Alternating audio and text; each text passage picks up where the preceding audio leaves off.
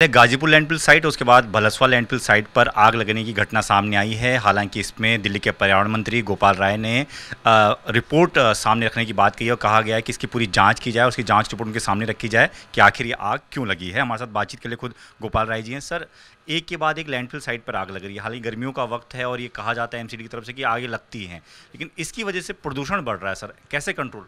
देखिए गाजीपुर में घटनाएँ हुई थी और फिर जिस तरह से भलसवा में आग लगी है तो डीपीसीसी के अधिकारियों को इस जो भलसवा में आग लगी है, इसकी ग्राउंड क्या वजह है, इसके लिए हमने जाँच के आदेश दिए हैं। 24 घंटे में रिपोर्ट सौंपी जाएगी। रिपोर्ट आने पर हम डिटेल जो है, इस पर प्लान करेंगे। लेकिन एक बात दिख रही है कि आग कूड़े के पहाड़ों में लग रही है। और कूड़े के पहाड़ पंद्रह साल में आखिर बने क्यों?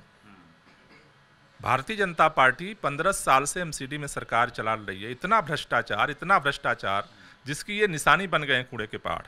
अगर सही समय पर सही प्लानिंग बनता तो पहाड़ नहीं बनते। पहाड़ नहीं बनते तो मिथेन गैस नहीं बनती। और मिथेन गैस अगर नहीं बनती तो इस तरह से जो बार बार आग लग रही है, जो प्राइमरी रिपोर्ट पे दिख रहा है, शायद इससे दिल्ली बचा, बच सकती थी। तो अभी तो हमने पिछले दिनों एक्सपर्ट्स की भी मीटिंग की थी कि तात्कालिक इसका उपाय क्या हो सकता है।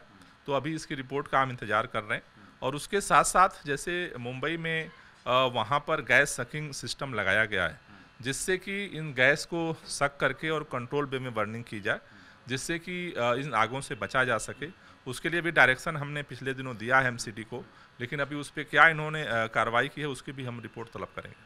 देखिए इस तरह से एक के बाद एक आग लगना, पिछले जब गाजीपुर में लगी थी, आपने जुर्माना भी लगाया था अधिकारियों को समन भी भेजा था, दोबारा इस तरह की बड़ी आग लगना क्या लगता है कि इस बार कुछ बड़ी कार्रवाई आप करने जा रहे हैं अगर कुछ एक बार रिपोर्ट आ जाए रिपोर्ट के आधार के बाद फिर निर्णय लेंगे। आप दिल्ली के संयोजक भी हैं आम आदमी पार्टी के सर एमसीडी लगातार एक सर्वे करा रही है जो अतिक्रमण हो रहा है। उनका कहना है कि वो अतिक्रमण जहाँ पर हुआ है वो वहाँ पर बुलडोजर चलाएँगे। इस पर आपका क्या कहना है? मेरे ख्याल से इन पहाड़ों में बुलडोजर कब चलाएगी? भारतीय जनता पार्टी पंद्रह साल से भ्रष्टाचार करके जिस पार्टी का पेट नहीं भरा अब पूरे दिल्ली में बुलडोजर के नाम पर वसूली का धंधा चला रही है। मतलब जाते जाते भी वसूली करना है। मुझे लगता है कि ये दिल्ली के लिए दुर्भाग्यपूर्ण है। जिस पार्टी को लोग विदाई करना चाह रहे थे, केंद्र सरकार ने जो है वो एकीकरण के नाम पर चुनाव टाले। और अब इस समय का सदुपयोग करने की जगह, ठीक है, उसका दुरुपयोग करके पूरे दिल्ली के अंदर दहशत फैलाया जा रहा है।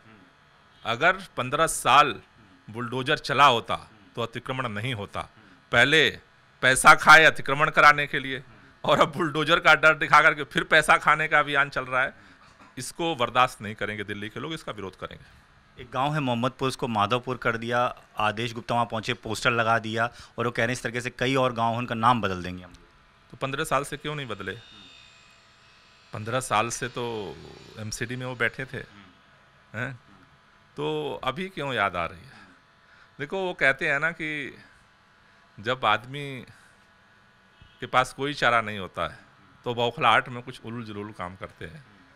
मुझे लगता है कि भाजपा को खुद नहीं पता कि अब एमसीडी चुनाव जीतने के लिए हम क्या करें। तो कब वो क्या कह रहे हैं क्या कर रहे हैं उनको समझ में नहीं आ रहा। है सर वो ये भी कह रहे हैं कि दिल्ली सरकार को उसमें क्या दिक्कत है? हम नाम ही तो बदल रहे हैं और नाम बदलने में क्या दिक्कत होगी हमने तो नहीं कहा कि हमें दिक्कत है। पंद्रह साल से क्यों नहीं बदला उन्होंने? पंद्रह साल से उन्होंने क्यों नहीं बदला ये कहा हम भाई पंद्रह साल से वो सो रहे थे। उनको आज नाम पता चला कि इस गाँव का नाम ये है। बात नाम की है ही नहीं ना। बात तो ये है कि भाई चुनाव देखो हार रहे हैं। उनको लगता है कि शायद इससे, इस इस इस इस काम करने से हमारे पक्ष में लोग आ जाएँ।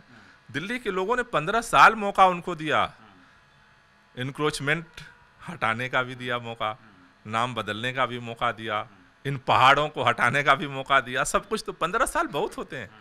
अब जब आपको सारा मौका दिया और आपका परिणाम क्या है? पहाड़, भ्रष्टाचार, गंदगी। यही तो पहचान है एमसीडी की।